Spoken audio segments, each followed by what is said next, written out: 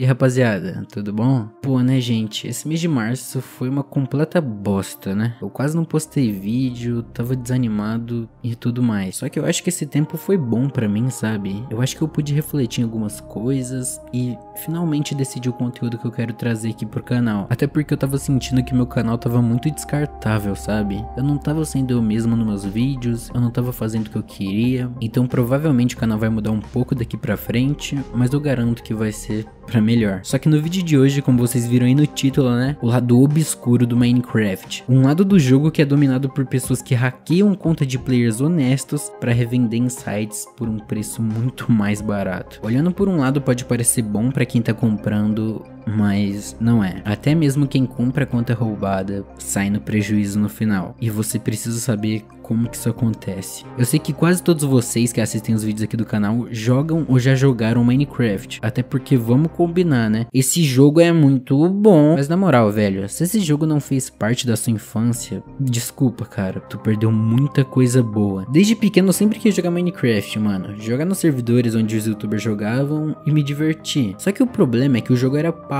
E como meus pais nunca deixaram eu comprar coisa em joguinho na internet, acabou que eu nunca tive a oportunidade de jogar meu Minezinho, né? Na real, eu dei meu jeito de jogar Mine pirata, só que vocês sabem, né? Não tem a mesma vibe e. Eu juro que eu nunca piratei um jogo. Mas o tempo passou e recentemente uns amigos decidimos voltar a jogar Mine, para se divertir um pouco e matar a saudade, né? Eu até coloquei uma gameplayzinha que eu gravei num vídeo meu lá. Sim, aquilo foi um easter egg, velho. Só que a maioria dos meus amigos, o pessoal que joga comigo, tinha um Mine original, mano. E eles sempre ficavam pedindo pra gente jogar em servidores originais. Porque caso tu não saiba, servidor pirata só tem hack, mano. É sério, só tem hack. Não é mesmo? Rede Sky maldita. Então tá, né? De tanto que meus amigos me infernizaram, eu fui atrás de comprar uma conta de Minecraft original. Até porque eu tinha um dinheirinho guardado ali e, pô, não fazia mal gastar em joguinho pelo menos uma vez, né? Só que caso tu não saiba, no site do Minecraft, minecraft.net, o preço atual do jogo tá mais ou menos 27 dólares. Que se a gente for converter para real, dá mais ou menos um milhão de reais. Pelo menos eu acho que é isso, né? 156 reais. Pelo amor de Deus, né, mano? Tá maluco? Quase 200 pila para jogar um jogo enquadrado? eu não. Então foi nessa que eu lembrei que existem alguns sites que vendiam Minecraft original por um preço muito mais barato. E quando eu falo mais barato é tipo 20 conto Minecraft, mano. Olha que delicinha, cara. Esse site aqui, por exemplo, tem duas opções de Minecraft. Um de 20 reais, que meio que você compra uma conta que outras pessoas podem usar também, tipo Minecraft compartilhado. E a outra opção é de 70 reais, que aí sim o Minecraft é só seu, uma conta que só você tem acesso, que você pode mudar o e-mail, senha, as perguntas de segurança, uma conta só sua. Olha que top, mano. Por menos da metade do preço do site oficial, tu consegue uma conta igual aquela que é mais cara. Que top, né? E olha, nesse site aqui tem um monte de parceiro que é até youtuber, olha. A Bibi, o Inemafu, o Wolf,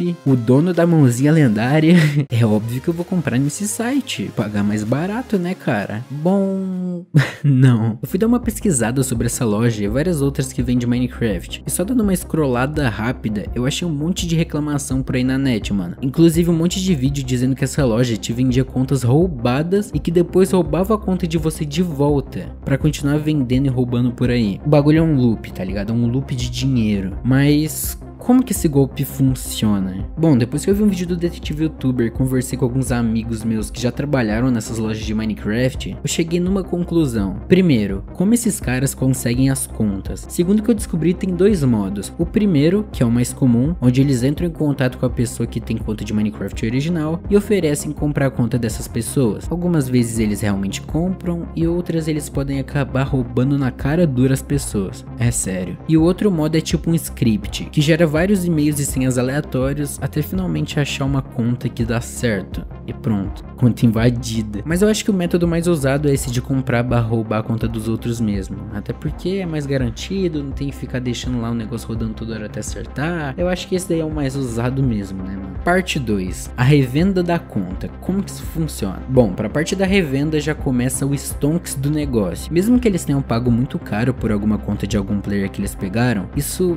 não importa no final, porque é agora que começa o plano. Eles começam colocando uma conta à venda por em média 20 20 reais, que comparado ao site do Minecraft é um preço muito barato. E é claro que desse jeito vai atrair muita gente querendo comprar. E o esquema é o seguinte, a pessoa compra a conta de Minecraft e recebe todas as informações da conta, com e-mail, senha e até mesmo os códigos de segurança. Que com isso a pessoa pode trocar as informações para entre aspas garantir que não vai perder sua conta depois. Sim, eu comprei uma conta de Mine e os caras da loja falam, muda as informações, tá ligado? Eles devem falar isso só para dar uma garantia de que eles querem seu bem. Mas beleza, Brug, se a pessoa consegue alterar todas as informações da conta, como a loja consegue a conta de volta? Não tem sentido isso, né? Bom, é que assim, quando você compra uma conta lá no Minecraft, no site oficial, você ganha uma key, que serve mais ou menos para você recuperar sua conta caso alguém roube ela. Sabe, o método de segurança da Mojang. E o que seria meio que usado para o bem, para recuperar as contas, meio que está sendo usado para o mal. Quando essas lojas te dão as informações da conta, elas te dão tudo, menos essa key, que poucas pessoas sabem da existência. E depois de um tempo que você já tá usando a conta, eles usam essa key para pegar a conta que você comprou de volta, fazendo você ficar sem o dinheiro e sem o Minecraft. E nem adianta você entrar em contato com a loja, pedindo a conta de volta, pedindo ajuda, porque o máximo que você vai receber de resposta é um profundo e belo nada. As lojas simplesmente param de te responder, na cara de pau, nem ao menos tentam inventar uma desculpinha para te fazer de palhaço.